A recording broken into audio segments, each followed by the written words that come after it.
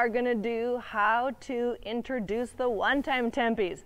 So of course I had to pick Derby because that's his, his absolute favorite thing to do in the whole entire world.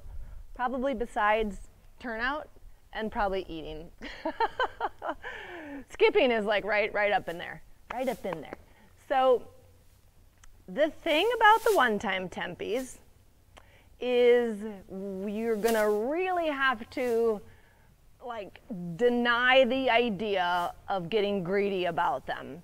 When you take your time and in a just very calm, precise, you know, in a real clear method, when you teach these like this, I am telling you, they will not let you down.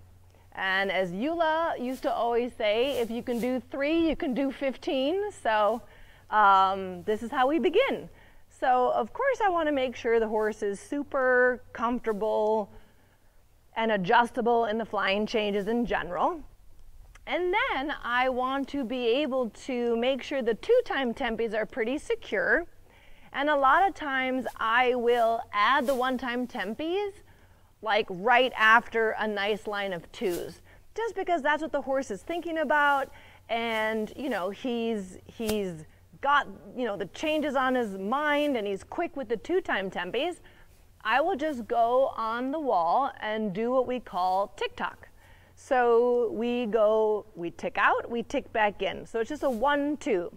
It's a little flip-flop. It's a one, two, onto the outside lead, back to the inside lead. And the thing that's going to be really shocking is how incredibly fast your aids have to be.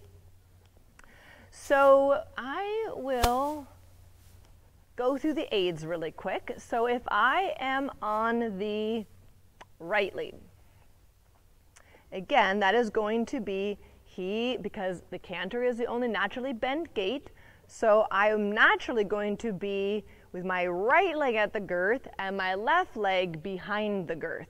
He's going to be a little bit bent to the right because again, he's in a shape slightly to the right because I'm on the right lead. As I get ready and prepared for that tick-tock, I want to really be sure my change to the outside is very clear. This is where the waters can get really muddied and everything gets like crazy and um, it all becomes kind of a, a mess. And so we want to make sure it can be a little bit of an exciting thing for the horse to learn and they get a little bit like tripped up in their feet and they can get insecure and you really want to make sure you train this in a really calm, uh, you know, very uh, logical way with no um, exciting factors because it's exciting enough.